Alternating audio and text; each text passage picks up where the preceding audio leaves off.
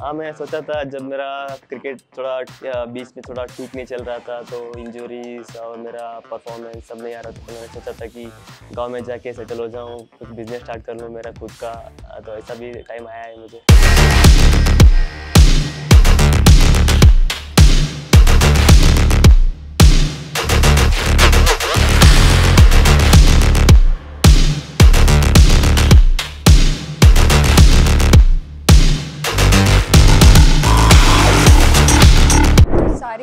कर्नाटका के domestic players होते हैं, उनका सपना रहता है आरसीबी के लिए खेलने का। आपको इस बार मौका मिला है तो आप, कैसा था वो एक्सपीरियंस आपके लिए?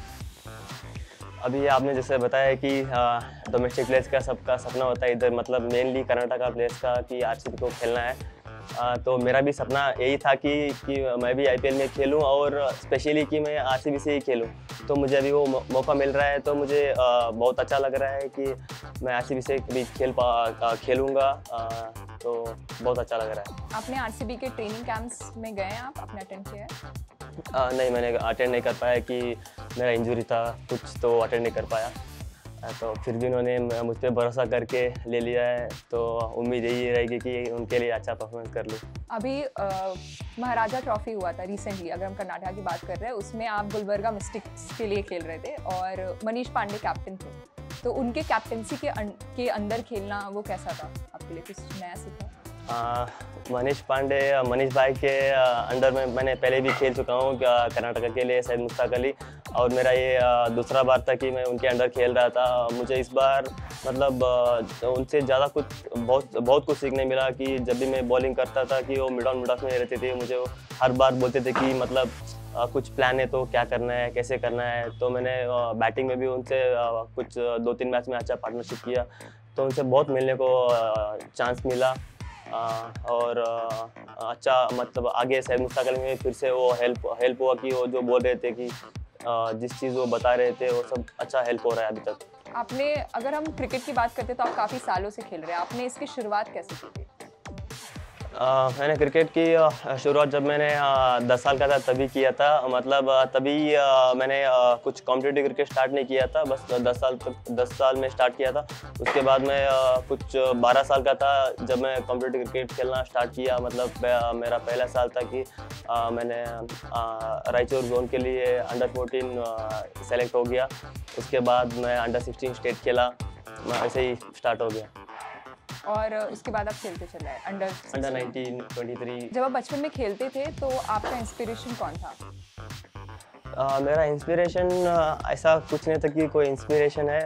मतलब मैं बस छोटा, जब छोटा था तब से ही क्रिकेट बहुत अच्छा लगता था खेलने को। जब मैं आठ आठ, नौ साल का था तब से ही मतलब घर पे टेनिस बॉल से उससे सब खेलता था। तो उसके बाद मैंने टीवी में देखता तो क्रिकेट अच्छा लगता था और मम्मी पापा ने भी सब घर में सपोर्ट किए क्रिकेट खेलने के लिए। तो तब से आपने किसी के पोस्टर्स लगाए थे अपने घर में?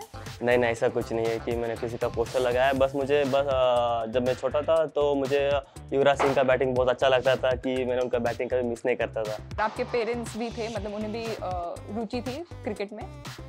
पेरेंट्स को मतलब अ, पापा और अंकल बहुत सपोर्ट करते थे क्रिकेट के लिए। बस मम्मी का आपको पता है घर में सब मम्मी कैसे होते हैं। उनको बस पढ़ाई करना होता था।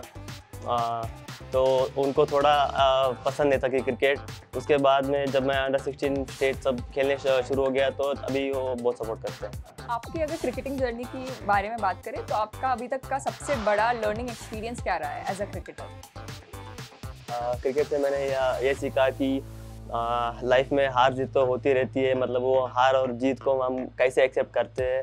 तो और मुझे हर डिफ़िकल्ट सिचुएशन में कैसे फेस करते हैं मतलब ग्राउंड में भी मुझे हर बार कोई ना कोई डिफ़िकल्ट सिचुएशन आता है। ऐसे ही मुझे लाइफ में भी हर बार, बहुत बार आया है कि डिफ़िकल्ट सिचुएशन जैसे कि मेरा कुछ भी मतलब इंजरीज हो, कुछ भी हो तो उसको मैं कैसे एक्सेप्ट करता हूँ और उस, उसको दिमाग से निकाल के मैं कैसे आगे जाता हूँ, ऐसा कुछ मुझे बहुत सीखने को मिला है क्रिकेट से। तो अभी अगर हम क्रिकेट टीम के बारे में बात करें तो इंडिया के नेशनल क्रिकेट टीम में आने के लिए बहुत ज़्यादा कॉम्पिटिशन है। आप खुद को कहाँ देखते हैं उस टीम में? आ, अभी तो मेरा पहला स्टेप है कि इंडियन टीम को सेलेक्ट होने के लिए कि बहुत सारे लोग अभी आईपीएल से ही सेलेक्ट होके होते रह- हो रहे हैं इंडियन टीम के लिए। तो मुझे भी अभी अच्छा मौका मिल रहा है कि मैं भी कुछ आईपीएल में अच्छा परफॉर्मेंस करूँ और इंडियन नेशनल सेलेक्टर्स के आँखों में आ, जाऊँ। तो अभी ये तो है कि इंडियन टीम में बहुत कंपटीशन है। बस मुझे अगर अच्छा परफॉर्मेंस करूँगा तो मुझे मुझे ऐसा लगता है कि कोई मुझे रोक सकता है कि इंडियन टीम में जगह बनाने के लिए। आईपीएल की अभी आप बात कर तो अगर हम इस साल के आईपीएल की बात करें तो ऑलराउंडर्स के लिए बहुत ही ज़्यादा एक्सेप्शनल बीडिंग हुई है। आप भी एक ऑलराउंडर है। क्या आप ऐसा होते हुए देख सकते हैं खुद के लिए आने वाले दो तीन सालों में? हाँ मैं तो यही होप करता हूँ कि मेरा भी नाम ऐसा ही आ जाए। बस मुझे उसके लिए और थोड़ा मेहनत करना ही पड़ेगा। अभी मुझे अच्छा मौका मिला है तो और अगले साल मैं और अच्छा हार्ड वर्क करके आ, हो सकता है। इस बार जो मैचेस है वो होम अवे फॉर्मेट है। तो आधे मैचेस चिन्ना स्वामी में स्टेडियम में होंगे आरसीबी के लिए और आपने बहुत ज़्यादा खेल ऑलरेडी खेला है चिन्ना स्वामी स्टेडियम में। तो आपको जो कुछ ऑलरेडी पता है आप उसे कैसे इस्तेमाल करने वाले हैं? आईपीएल की बात करें तो। जैसे कि आप बताया कि मेरा आधा मैचेस बैंगलोर में ही होगा तो मुझे बैंगलोर स्टेडियम में चिन्नास्वामी स्टेडियम में तो मुझे आ, बहुत सारा मैचेस का एक्सपीरियंस है। मुझे पता है कि विकेट कैसे बिहेव करता है और उसका आउटफील्ड कैसा है।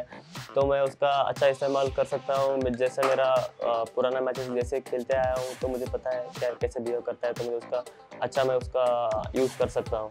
क्या आपके ऐसे प्लान्स हैं? एज आप जैसे कि आपने बोला आपको पता है यहाँ पे विकेट्स कैसे लेने क्या आपका ऐसा कुछ प्लान है कि आप अपना बॉलिंग पेस 140 तक बढ़ा बढ़ाने का आपने सोचा है? क्योंकि वो ऐसा एक फैक्टर है जो सारी टीम्स देखते हैं अपने अपने स्क्वाड में जोड़ने के लिए।